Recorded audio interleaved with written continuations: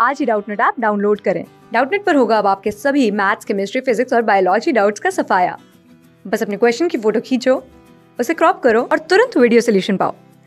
download now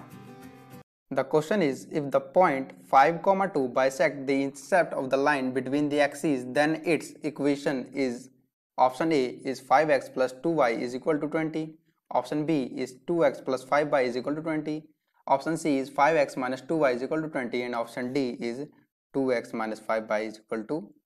20 so here let the equation of the line is x by A plus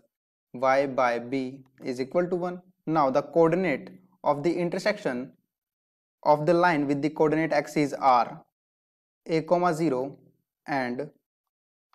0 comma b. Now the midpoint, now the midpoint of a comma 0, a comma 0 and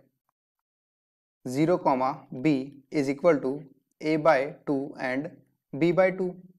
now according to the question now according to the question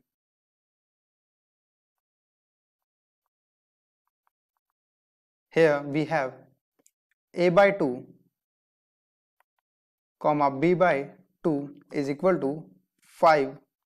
comma 2 so from here we have a value of a by 2 is equal to 5 and b by 2 is equal to 2 now we have value of a that is 10 and the value of b is equal to 4 so now the equation of a required line is given below. That is x divided by 10 plus y divided by 4 is equal to 1 so after solving it further we have a value that 2x plus 5y is equal to 20 and this is our answer thank you